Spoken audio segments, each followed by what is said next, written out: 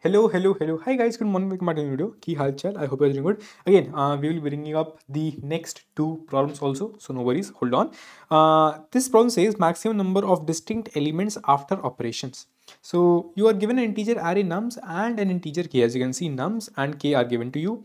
Now you're allowed to perform operation on each element at most once, which means either I'll apply the operation or I will not apply it. But I, I, I will apply at max once, which means at this index just one time I can apply a operation. What is operation like? Operation is that I can add an integer in the range minus k to k to any specific element I want. For example, for this element, I can add any integer from minus 2 to 2. This is what I can add, which ultimately means that if I have some specific nums of i, I can add anything from minus k to k, which means after after this modification or addition of any number between minus k to k, this nums of i will become anything from nums of i minus k to nums of i plus k. Which means that with this operation of modification, I can change my nums of i to anywhere between nums of i minus k to nums of i plus k. Okay, makes sense.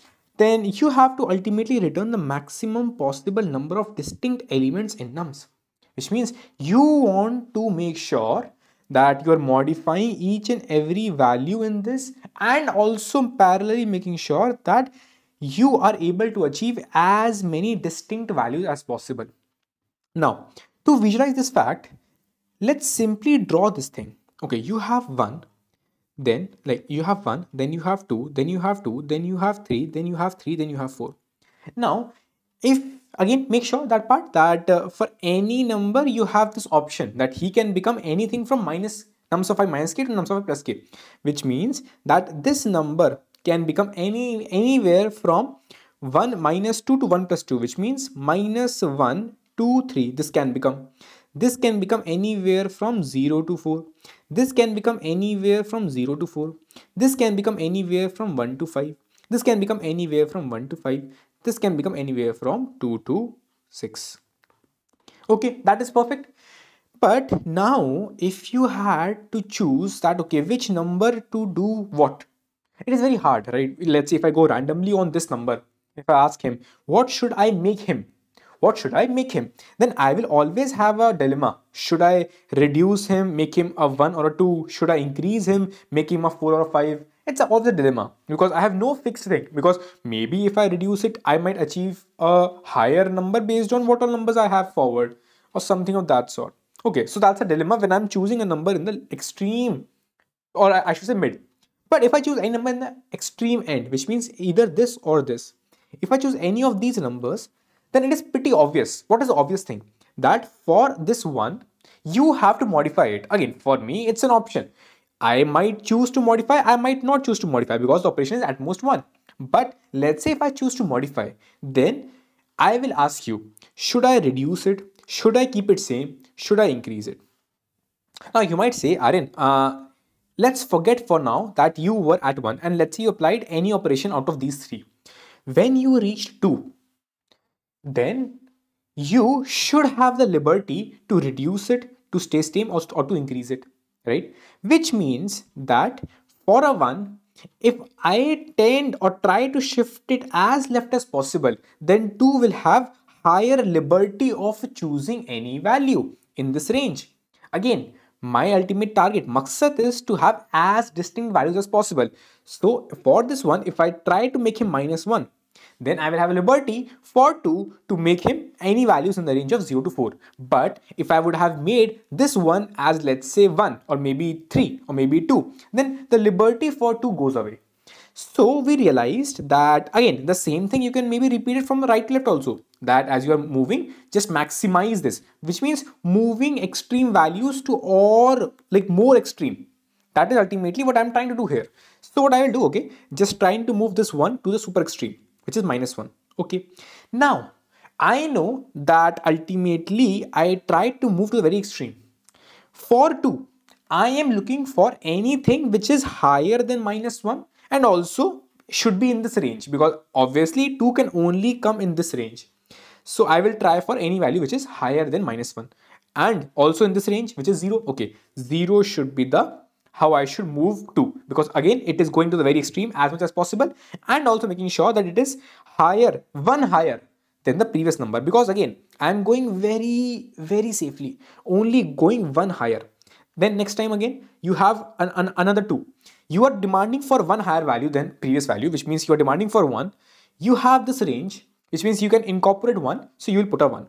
Okay. Then next time uh, this is done. The next time you encountered another value. Okay you are demanding for 2 2 can come. Okay obviously let's put up a 2 okay makes sense. Then next time again you demanded for a 3 you demanded for a 3 you can sorry. You can actually have a 3 yes. Okay uh, have a 3 then okay you demand for a 4 next time. Okay. Can you have 4 yes you, you can have a 4 okay have a 4 and thus you can simply solve it. Now if i just quickly give you this example also it is pretty same. Now you might ask Aryan um, you're demanding for a 4 and you are getting that 4 okay you are placing it. But what if this value would have been a 8 which means the range could have been 6 to 10 you demanded for a 4 but you do, you did not get a 4 because 4 is not in this range. Then okay no worries. Anything which is extreme lower bound which means extreme left of what I could reach from it, I will put up here. And then the next demand for me will be a value of 7. That is ultimately what my aim is. Let's quickly show you this example also 4, 4, 4, 4. But before that, did you realize one thing? That it is always important to sort your input array. Why? Because you're iterating on from the values from left to right. Also making sure that minimum is always increasing as we move towards the right. That is the reason I have to sort it also. Okay, quickly let's uh, let's see this. Uh, the k value here is 1. So I have to choose for this. The value will be 3 to 5. Here also 3 to 5. Here also 3 to 5. Here also 3 to 5. Obviously, I will try to firstly place minimum. Okay, 3. Next demand is a 4. Can I place a 4? Yes, I can place a 4. Okay. Next demand is a 5. Can I place a 5? Yes, I can place a 5. Okay. Next demand is a 6. Can I place 6? No, I cannot place a 6. Okay, in that case, I cannot place a 6. Oh, sorry. Which means I have to place anything which will be obviously same as this one. Because obviously, this value which I am demanding is not in this range. Okay, maybe I, I would have like moved to the next number, but I cannot put any distinct from this pair. Thus, the answer itself will be 3 in this case. Let's say the code is exactly very same that firstly I sort it because I told you that why we have to sort it. Then I have to get the distinct count. I take the prefix maximum. I told you right now, right, that uh, you have to make sure what is the corresponding prefix maximum you have maintained so far. So I'll take prefix maximum in the very beginning. I'm comparing again. I'm comparing that by say, okay, what is the corresponding prefix maximum I'm demanding right now and what range you have. So this is what I'm demanding right now for them. Now, um, I'll simply in the very beginning demand super minimum. This is my demand. This is my demand. Then I will go into all the numbers. I will say, okay, this is the current lower bound and upper bound of the current number, right? Then I will check if my if my prefix maximum, which means if my previous maximum, which means my demand, if it is less than my less than the lower bound, as you can see, if my demand, if, if you remembered here, the my demand was 4, it is less than the lower bound, then the actual demand will now become obviously 6 or higher. So I will simply place current number and I will simply say, okay, my demand has now become this, that you should have, you should be simply higher than this value. So I will simply make my demand as the new lower bound. So my, my demand will now become 6, which means any number in the next future should be higher than 6. And also considering I have put up one value which is distinct, I will simply increase my distinct count. But what if, what if your demand, if, you, if, if let's say I come back, what if my demand would have been 7? Which means my demand lies in this range. My demand lies in this range. And my again, this is the corresponding minimum demand I had. So I will have to put up a 7. Next demand will become obviously 8 or higher. But as I put up a 7, this I'll say, okay, simply say, okay, my count increased. So else if, again, this is not else, this is else if, which means my demand is now in the range of lower bound to upper bound. In that case, I will increase, okay, my demand should be increased next time by plus 1 and also making sure that okay, I increase the corresponding count. So this is the case when your range for any nums of i, your range was nums of i minus k, nums of i plus k. In this case, your demand was lesser than this thing. In this case, your demand is in between. If your demand is higher, so you will have to repeat or duplicate a number which is obviously not help you to increase the distinct count. That is the reason we have ignored it because we only want the count, not the actual distinct numbers. If you would have wanted to get the actual, actual distinct numbers, then one more else condition and simply put up any value here in this range from i nums of i minus k to nums of i plus k. And then ultimately just giving up the corresponding distinct count. Because you did a sorting, the time is O of n log n. Because you did a sorting, the space is a log of sort. What, what, what I mean by log of sort? Because you did a sorting. For C++ and Java, sorting takes log n space.